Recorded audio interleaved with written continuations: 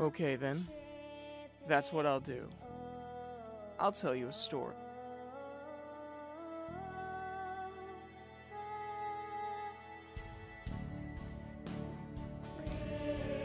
Can you hear that? All these people who lived in terror of you and your judgment. All these people whose ancestors devoted themselves, sacrificed themselves to you. Can you hear them sing?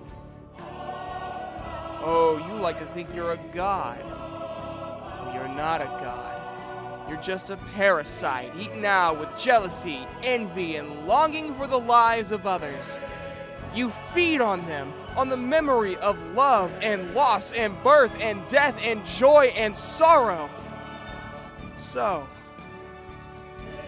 so, come on then, take mine.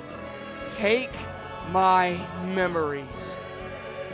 But I hope you've got a big appetite, because I have lived a long life, and I have seen a few things.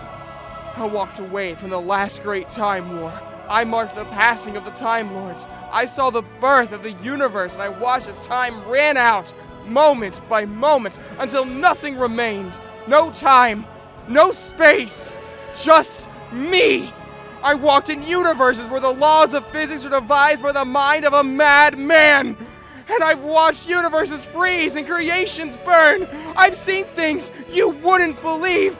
I have lost things that you will never understand. And I know things, secrets that must never be told, knowledge that must never be spoken, knowledge that'll make parasite gods blaze.